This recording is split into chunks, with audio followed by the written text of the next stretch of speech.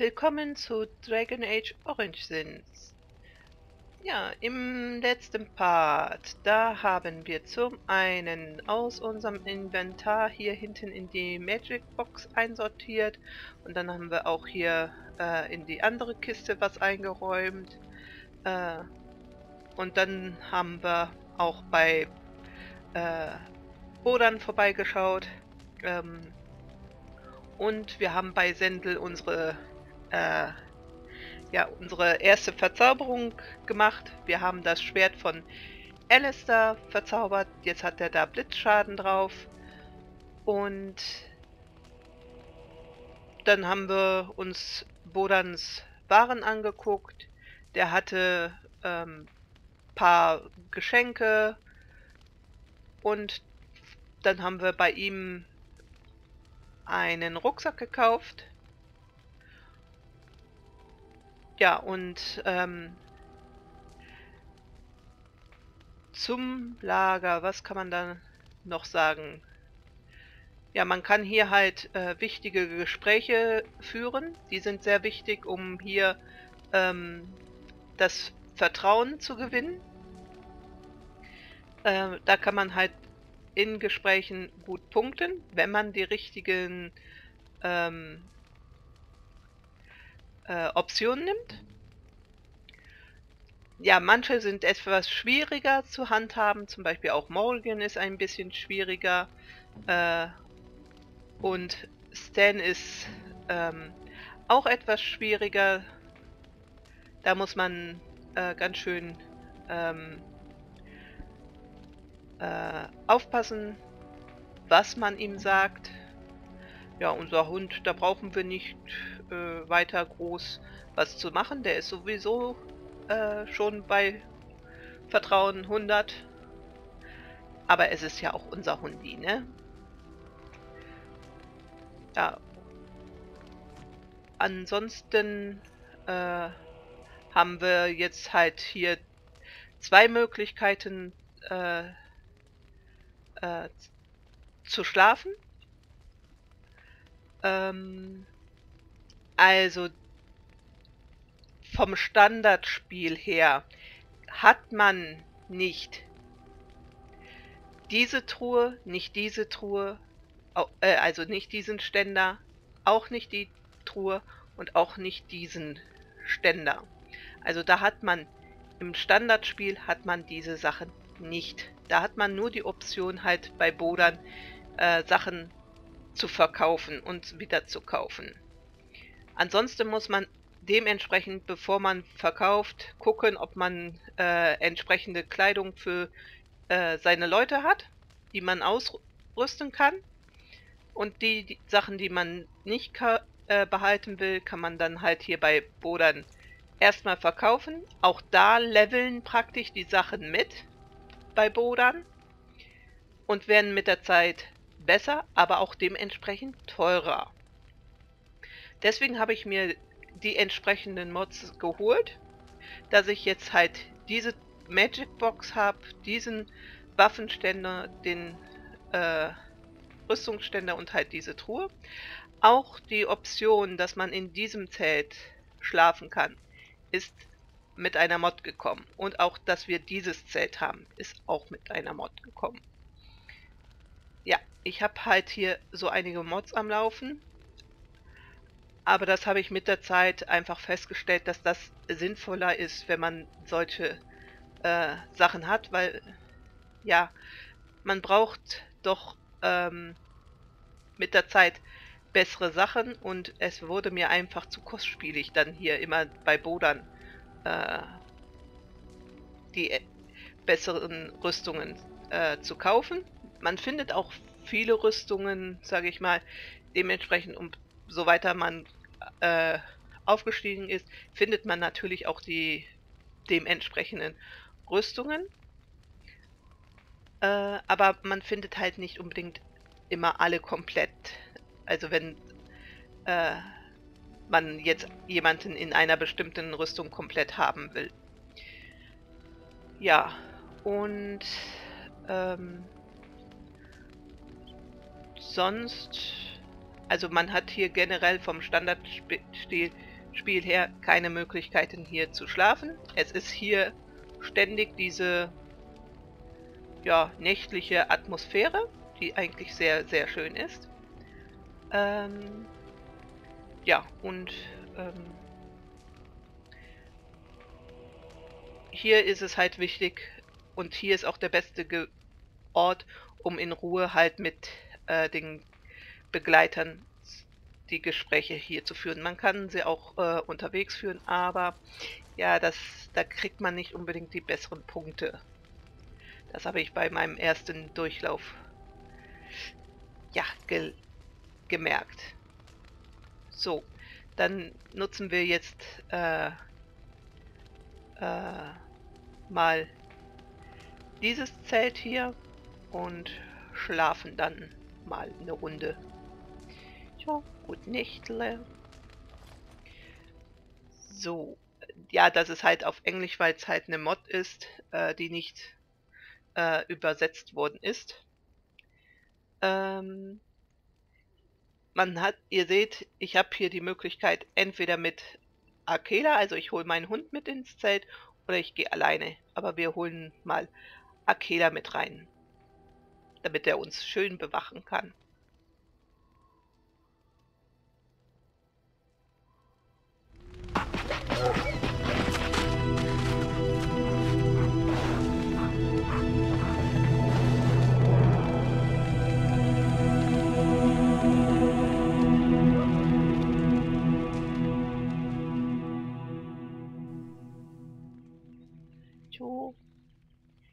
Morgen. So, und ihr seht, jetzt sind die äh, Sachen, die halt mit der Mod gekommen sind, äh, im Moment nicht da. Die sind wieder da, wenn sobald man halt ähm, äh, einmal raus und wieder das ins Lager zurückkehrt.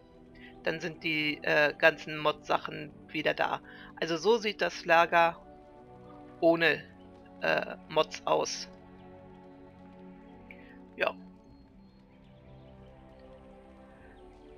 Mehr kann man im Moment nicht zum Lager sagen. Dann wollen wir aber auch äh, mal losziehen. Äh, mal gucken, was könnten wir denn... Äh, ähm, hm.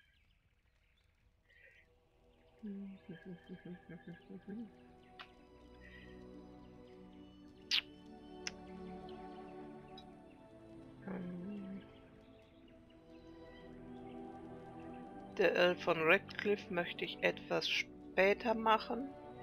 Auch den Paragon äh, möchte ich später machen. Also wir werden höchstwahrscheinlich erstmal den Zirkel machen. Ähm, danach werden wir ähm,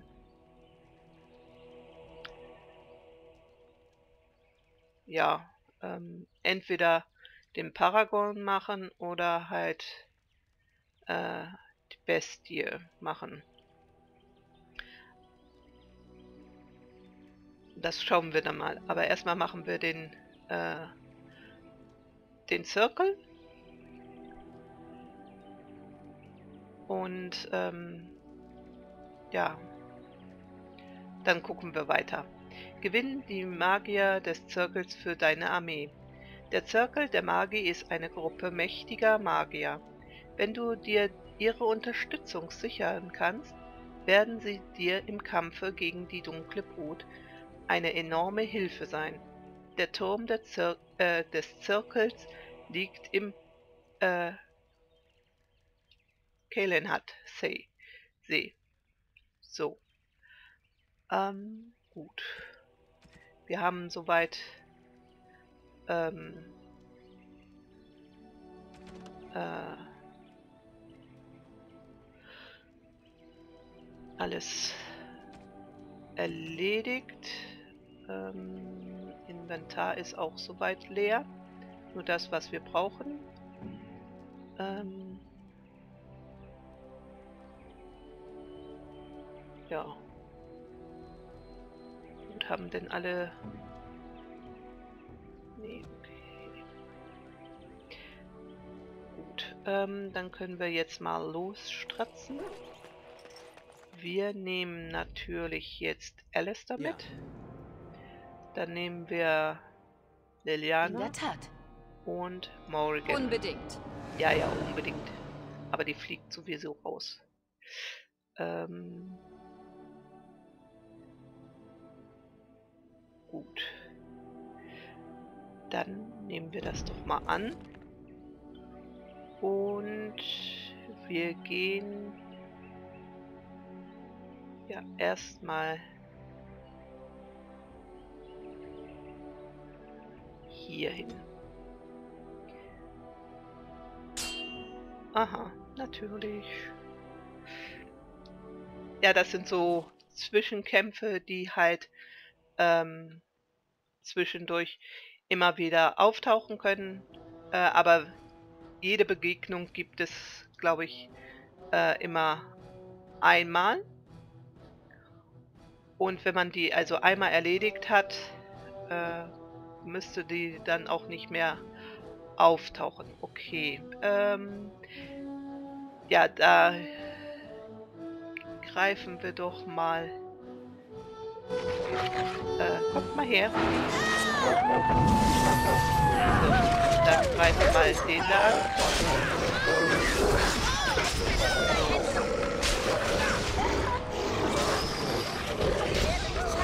Okay, alle sind außer Linealna. Die ist mittendrin. Geh mal bitte da hinten hin. So. Oh, oh, oh.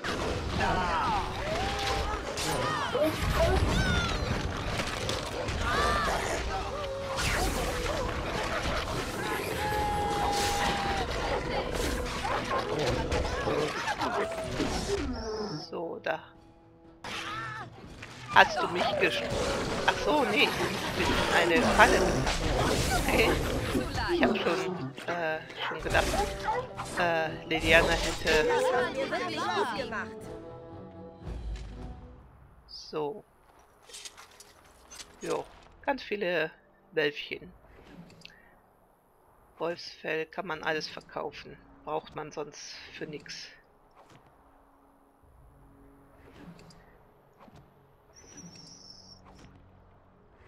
Da nehmen wir auch alles mit.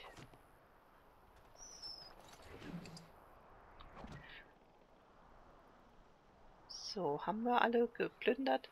Jawohl. Ähm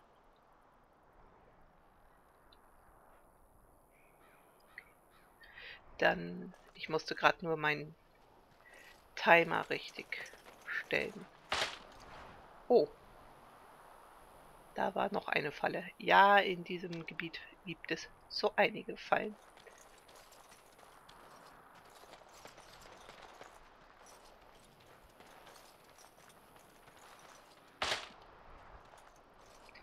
Ja?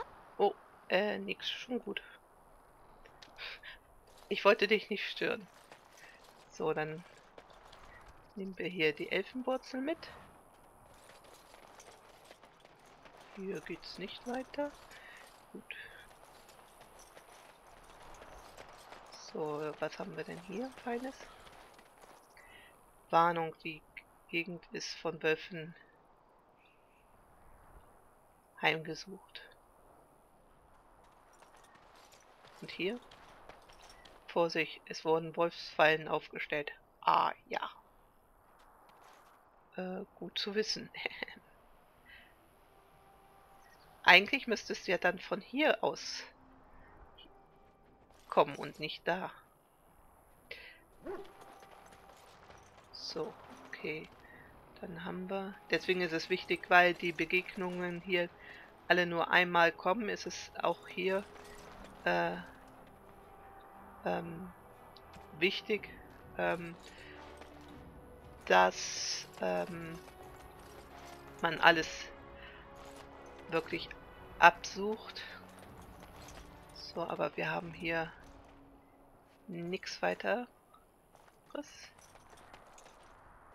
So, nee, okay, dann können wir äh, weiter. Ihr könnt wieder mitkommen. Oh. Na, wer ist es diesmal? Oh, Alistair, hast du Aua Füßchen. Aber die stellen ja kaum Schaden bei uns an. Wie ihr meint. So, und auf jeder Strecke kommt, äh, würde höchstens nur immer ein, äh, auch wenn es eine längere Strecke ist, nur ein äh, ähm, mal auf einen Kampf kommen. So, dann holen wir uns jetzt hier die Todeswurzel. Betrachtet es als erledigt. Mhm. Seht ihr den Turm? Die Aussicht von ganz oben muss großartig sein. Mhm. Ja, wenn du dich gerne da auf die Spitze setzen willst, bitte. Die sieht aber ein bisschen sehr, sehr spitz aus. Die, der kann dir bestimmt noch ein weiteres äh, Popoloch machen. So, aber natürlich gucken wir uns hier auch äh, bis ins Kleinste an. Wie tief ist der See? Dürfen wir darin überhaupt schwimmen? Äh, da es so dampft, äh, ist es vielleicht nicht gerade empfehlenswert, da drin baden zu gehen. Wer weiß, was die Leute hier alles so reinkippen. Aber wenigstens scheinen sie ja ihren Müll anderweitig zu äh, entsorgen. Da haben wir ein, ein sehenswertes Boot. Also, Hundi, heb mal dein Beinchen.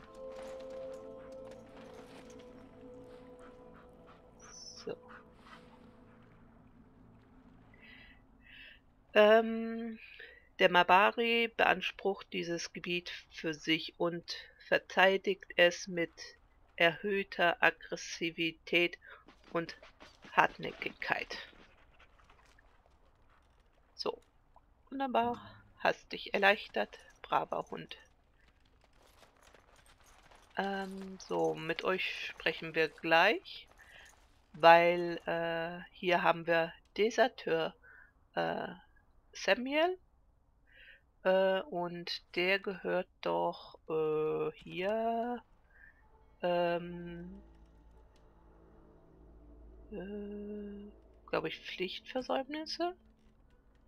Ja. Da, Deserteure. Samuel. Kaylin hat C. Den müssen wir also gleich mal Manieren beibringen.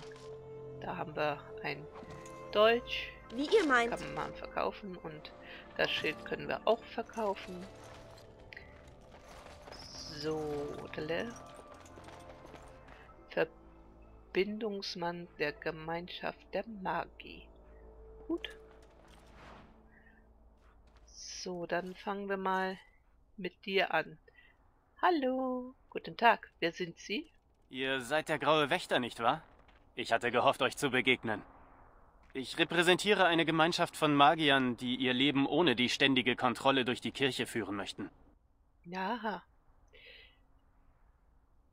Ähm. Erzählt mir mehr. Die Gemeinschaft ist eine Magiergilde, die sich selbst kontrolliert und einfach nur in Frieden leben möchte. Wir wollen die Kirche nicht verärgern, ziehen es aber vor, nach unseren eigenen Regeln zu leben. Hier neben mir findet ihr, wie in jeder anderen größeren Ansiedlung auch, einen unscheinbaren Sack, der Anliegen von Magiern aus dem ganzen Land enthält. Sie alle brauchen die Hilfe von jemandem, der fähig und diskret ist. Ähm...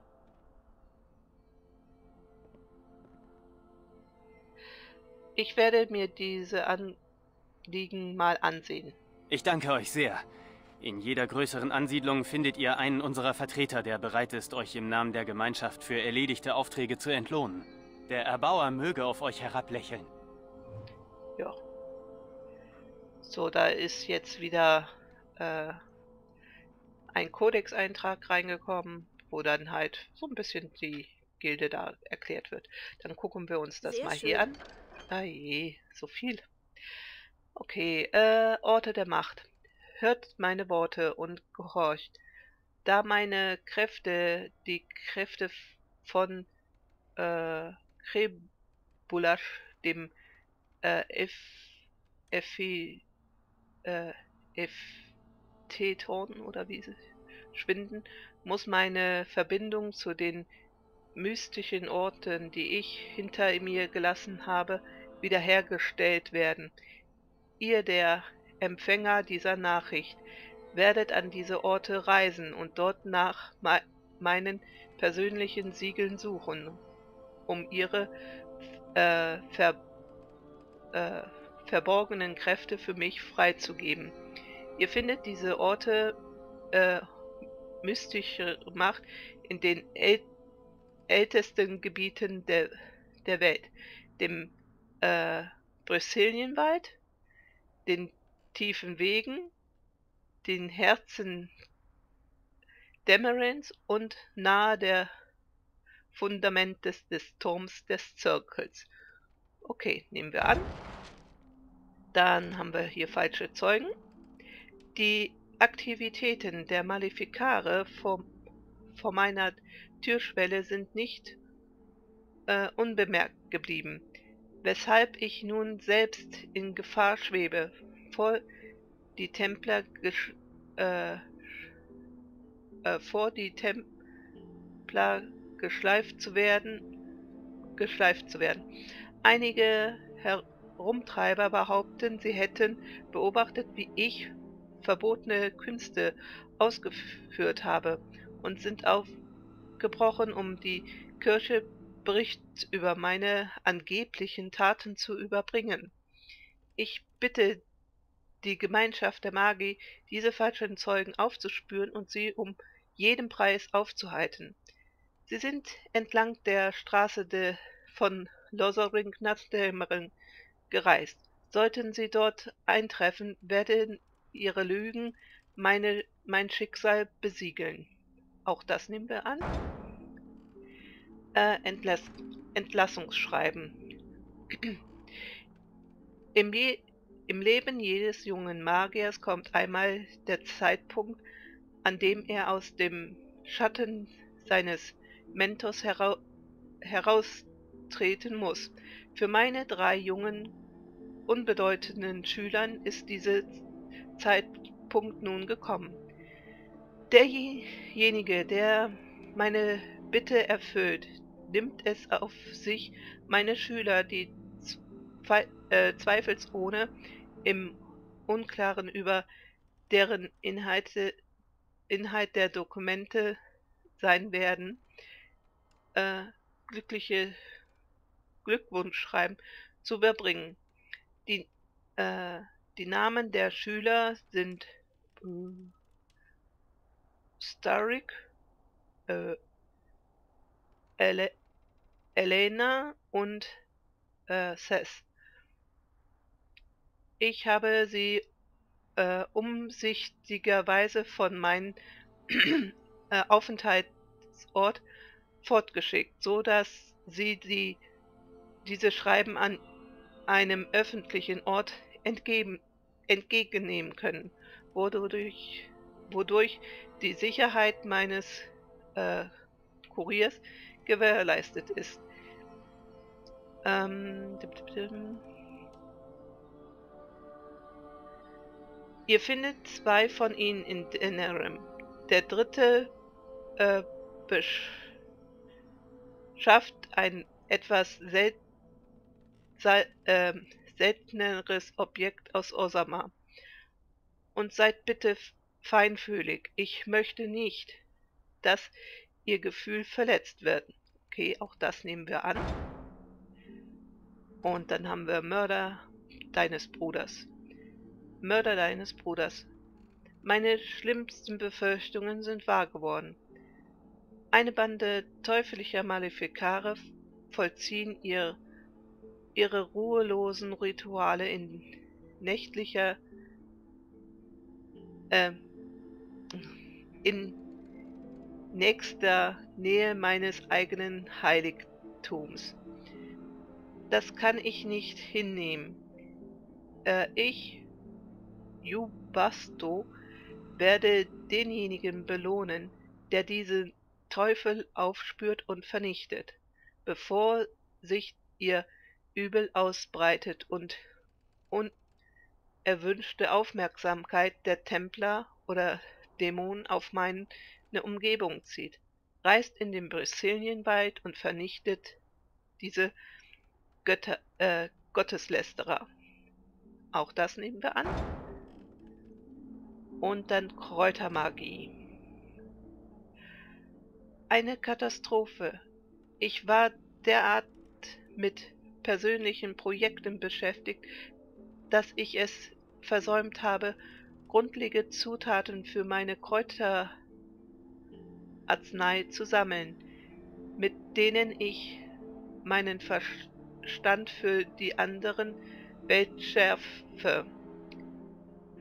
Ohne sie bin ich am Ende. Am Ende. Ich werde denjenigen, der mir zehn Bündel Tiefenpilz bringt, demütig entlohnen. Mit ihrer Hilfe könnte ich meine Suche nach Erleuchtung mit klarem Verstand und weniger Ausfällen von äh, Schläfrigkeit und Magenverstimmungen fortsetzen. Möge derjenige, der diesen Brief, äh, diese Bitte erfüllt, für seine edle und selbstlose Tat mit Reichtümern und deren Liebe des Erbauers überhäuft werden. Er bringt mir nicht äh, ja, er bringt mir nicht weniger als die Erlösung. Auch das nehmen wir an. So, das war ja eine ganze Menge. Gut. Ähm, da hatten die Freischärler etwas weniger für uns. Gut. So, jetzt klatschen natürlich hier... Äh, auch war nur ein, eine... Okay. Äh, ja, da haben wir jetzt nochmal... Ähm, finde und aktiviere vier mystische Orte der Macht. Sie liegen im Brasilienwald, die tiefen Wege, dem Herzen Dämmerens und nahe des Fundament, äh, Fundamentes des Turmes des Zirkels. Falsche Zeugen, spüre eine kleine Gruppe von Abenteurern auf und, über, äh, ver und verhindere, dass sie äh, Falschaussagen über angebliche äh, praktizierende Blutmagie machen. Und Entlassungsschreiben äh, finde drei Schüler und gib ihnen von ihnen ein, jeden von ihnen ein Entlassungsschreiben. Zwei von ihnen sind in Denerim, der dritte beschafft ein etwas selteneres Objekt aus Osama. Und Mörder äh, meines Bruders reise in den Brasilienwald und vernichte die Verbindung der Malefikare und halt Kräutermagie bringe de, äh, der Gemeinschaft der Magie zehn Bündel Tiefenpilz. Ja, gut. Das werden wir dann nach und nach tun. Weil da müssen wir ja so oder so hin, also kann man das schön miteinander verknüpfen, so dass man nicht, wer weiß wie viel ständig hin und her reisen muss. So, ähm, dann gucken wir jetzt noch ganz kurz hier die Betrachtet zwei es als erledigt. Einmal, tief, uh. Einmal Tiefenpilz und ein Silber, vier Kupfer. Ja, können wir ja gut gebrauchen. Ja, und im nächsten Part, Part werden wir hier mit Kester sprechen äh, was er uns alles zu erzählen hat. Und vielleicht schaffen wir dann auch noch halt hier äh, in die Ohren wuschelig zu reden. Auf jeden Fall schön, dass du dabei warst. Schön wäre es, wenn du im nächsten Part auch uns begleiten würdest. Und ich wünsche dir einen schönen Tag, schönen Abend, viel Spaß und bis denne dann. Tschüss.